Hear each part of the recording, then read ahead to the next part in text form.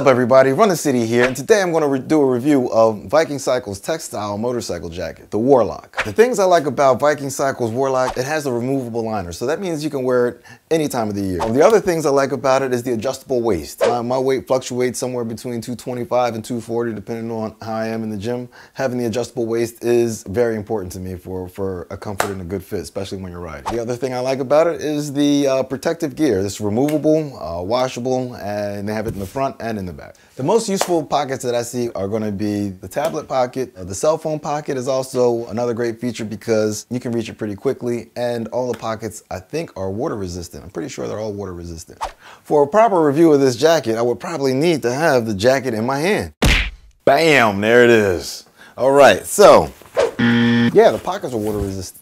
So when you're riding around in the rain, um, you don't have to worry about your electronic devices, your iPad, your, I, uh, your iPods, your cell phone, or anything like that getting damaged simply because they're in waterproof housings inside of your uh, jacket. One of the great features about this jacket is that it has a lot of uh, pockets for accessories. Personally, when I'm riding, I like to travel light, so I don't really carry a lot of things with me. I might have my phone and um, really that's about it. So um, some of these other features necessarily won't apply to me, but if you have um, headphones or earbuds uh, or an iPod, they can all fit in here.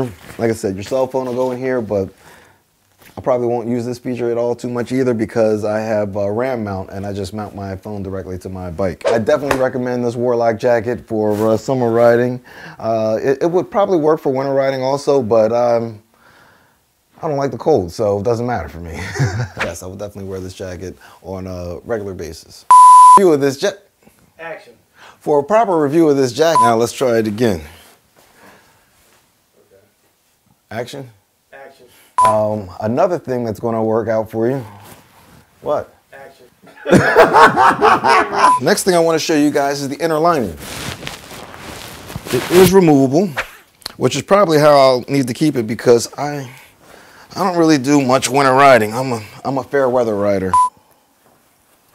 There's too many damn buttons. How the hell did they even put this together? Here's that inner lining, which obviously is too small for me. I need some help, man. You can, you can get this off. This is some gang shit right here. How's it look on me? Tell me how it looks on me. You see how it is. You see what's going on here?